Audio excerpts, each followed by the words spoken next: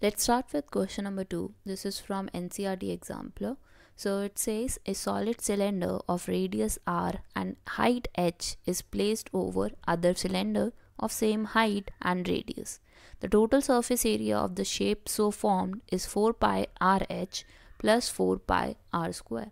तो उन्होंने हमें बोला कि एक सॉलिड सिलेंडर है उसके ऊपर एक और सॉलिड सिलेंडर हमने रख दिया है सेम हाइट का सेम रेडियस का तो फिगर कुछ ऐसी बनेगी इसकी। यहाँ पे आप लेफ़्ट साइड पे देख सकते हैं। We have two cylinder over one another तो उन्होंने बोला है सरफेस एरिया आना चाहिए आपका four pi R H plus four pi R square तो देखते हैं कि हमारे को टोटल सरफेस एरिया इस शेप का क्या मिलता है।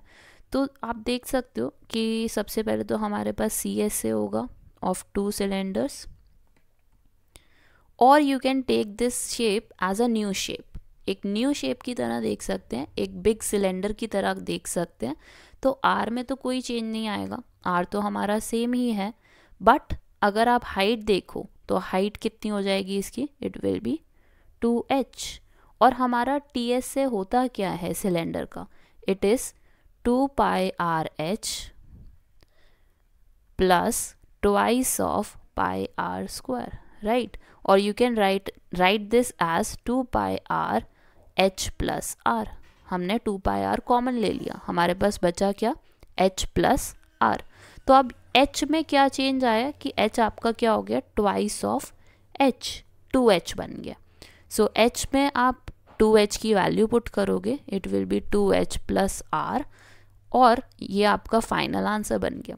अब हम इसको सॉल्व करके देखते हैं सिंप्लीफाई करके देखते हैं कि क्या आंसर आता है। So it will be four pi R H you have to multiply this term with this and this term with R so it will be two pi R square so this statement is wrong क्योंकि यहाँ पे हमें क्या दिया हुआ है? Four pi R square so this is wrong your answer is four pi R H plus two pi R square so, this statement is false for us. Now let's start with question number 3